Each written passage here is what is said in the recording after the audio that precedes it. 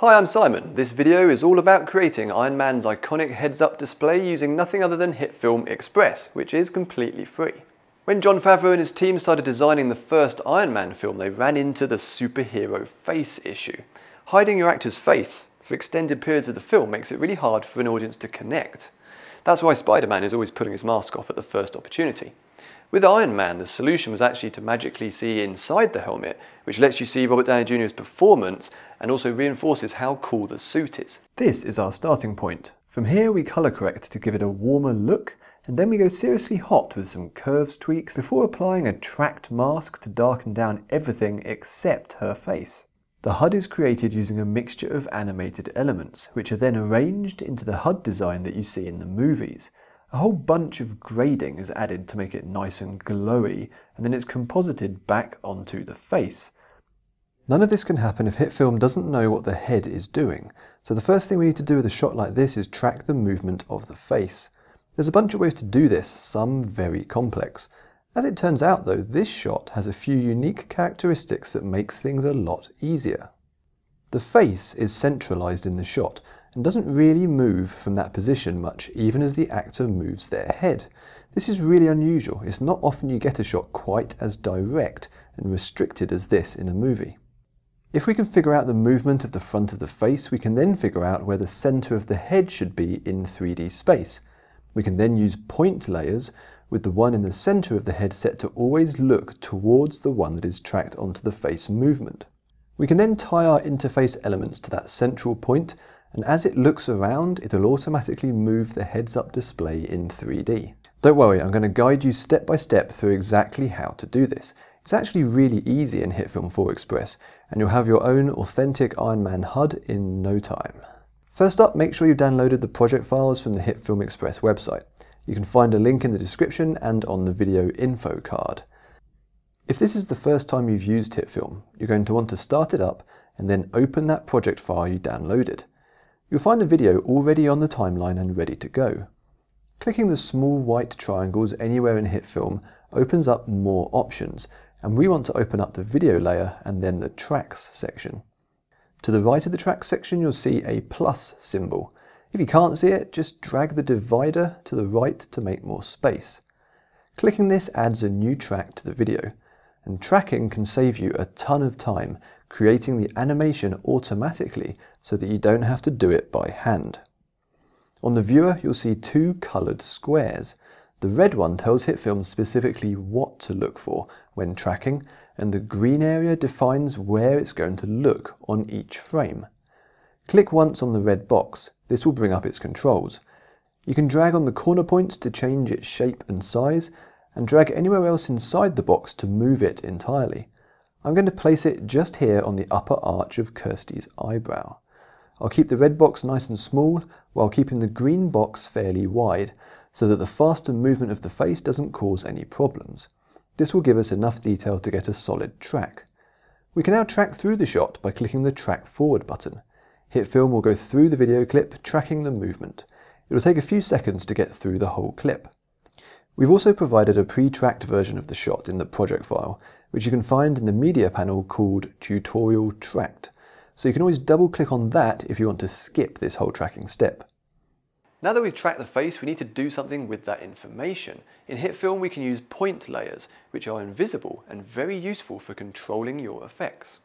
I'm going to go to the New Layer menu on the timeline and create a new point. I'll choose Rename from the menu and call it Face Track. Points don't really do anything and won't be visible in your video, but they're really useful for controlling other layers. We want to go back to the track panel. If you can't see it, simply double click the tracker down on the timeline. You can now select the face track layer from the layer menu in the track panel and click apply. This sends the tracking data over to that new point layer. Now switch back to the viewer using the tabs at the top here and then select the face track layer down on the timeline. You can see that it's perfectly tracked onto the face. Anyway, you're probably thinking, but Simon, this is only 2D. How can it possibly give us the information we need to track in 3D? Well, that's the sneaky bit. We have our 2D tracked point. I'm now going to create a second point layer, again from that new layer menu. I'll rename this one to head pivot. Currently everything in this scene is 2D, it's time to change that by switching the head pivot layer into 3D. This can be done by clicking on the square on the timeline and switching it to 3D plane. HitFilm will ask you if you want to add a camera. Just say yes. We're now going to position our head pivot in the center of Kirstie's head. This only needs to be an approximation. So if our frame is 1920 pixels wide, which it is, then Kirstie's face is about a third of that wide, so let's say about 640 pixels. A normal human head and Kirstie's tend to be slightly deeper than they are wide, so let's say that her head relative to the width of our frame is about 1100 pixels deep. Therefore, if we want our head pivot point to sit neatly in the virtual center of her head, we need to move it back 550 pixels. How's that for some maths? So select your head pivot layer, then go to the controls panel. If you open up the transform section, you'll see that the position property has three values. The third one is the Z position, also known as depth. You only have this option when you're working in 3D, so let's set that to minus 550, which will move the point backwards. Now I'll find a frame where she's looking straight onto camera, and move the point horizontally and vertically to position it between Kirstie's eyebrows. You can adjust the values in the controls panel by clicking and typing a number, or by dragging on the value, or even by dragging on the arrows in the viewer. Now here comes the really cool bit. In the Head Pivots Layer Properties section, find the Alignment menu and switch it to Towards Layer. This will add an additional option where we can then select the alignment layer. So for this, you probably guessed already, we want to choose the face track. The head pivot is now looking directly towards our tracked eyebrow point.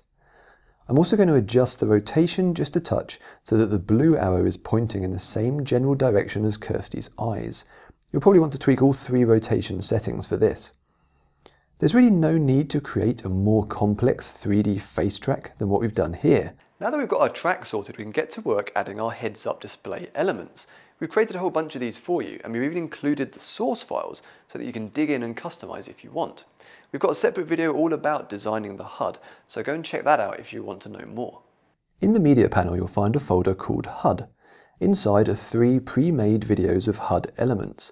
We've also provided you with all the separate pieces of the original designs, so if you want to try your hand at something more advanced, do check out that other video tutorial.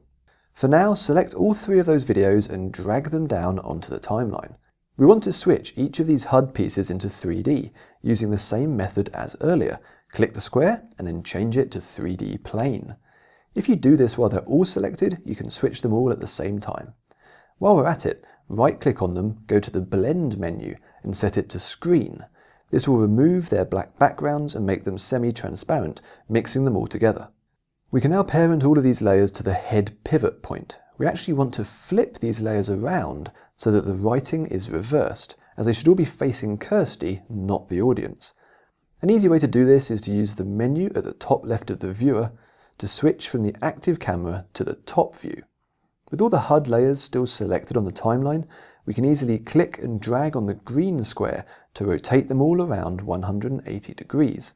Once you've done that, switch back to the active camera and you'll see that our HUD is now flipped around. Currently our layers are positioned so that they seem to be stuck directly onto Kirstie's face, so let's fix that. Use the blue eye icons to turn off two of the HUD layers so that we can just focus in on one of them. Select one of the layers and go to its transform group. I'm going to right click on position and choose reset. This sets the position values to zero, which puts the HUD element right on top of our head pivot point. From here, I'll now adjust the anchor point, lowering it down to somewhere between minus 1300 and minus 2500. The lower the number, the closer it will be to the camera. I can now use the rotation controls to orbit the HUD element around the head pivot. The reason this is working is because we've changed the anchor point, not the position, and so it's rotating around that anchor point. This keeps it at the right orbital distance from Kirstie's face even as it's repositioned. The same techniques can be used for the other two layers, so I'll turn visibility back on, go into the layer's transform and reset the position, then adjust the anchor point. I'll do this one at a different distance so that there's a nice sense of depth to the HUD. The rotation controls can be used to position it in a slightly different location. Now that you've finished doing the main compositing of the HUD, it's time to add some grading to make it look good. Move on to our next tutorial to find out how to do that.